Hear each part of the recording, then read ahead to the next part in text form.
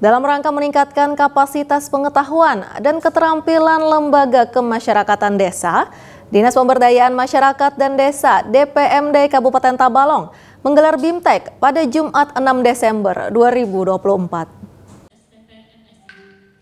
Bimbingan teknis Lembaga Kemasyarakatan Desa atau LKD diikuti sebanyak 88 orang yang terdiri dari pengurus LKD, Karang Taruna, PKK, dan kader posyandu. Kegiatan ini bertujuan untuk meningkatkan kapasitas pengetahuan dan keterampilan lembaga kemasyarakatan desa, sekaligus menegaskan kembali peran dan fungsi utama dari LKD dalam mewujudkan pemberdayaan, perencanaan, dan pembangunan yang baik di desa dan kelurahan.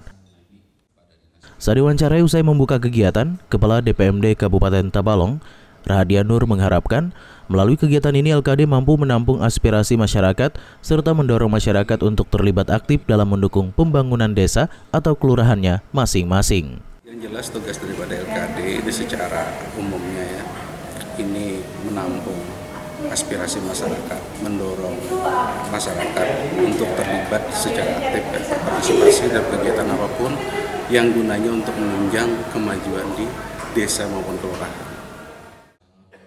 Kegiatan BIMTEK ini akan kembali dilaksanakan pada Senin 9 Desember 2024 dengan tempat dan peserta yang sama.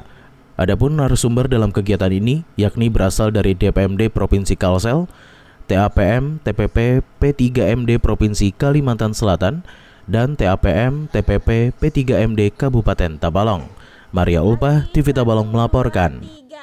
Terima kasih sudah menonton video ini. Jangan lupa subscribe channel Tabalong hari ini dan nyalakan pemberitahuan untuk update info. Jangan lupa juga untuk like, komen, dan share videonya.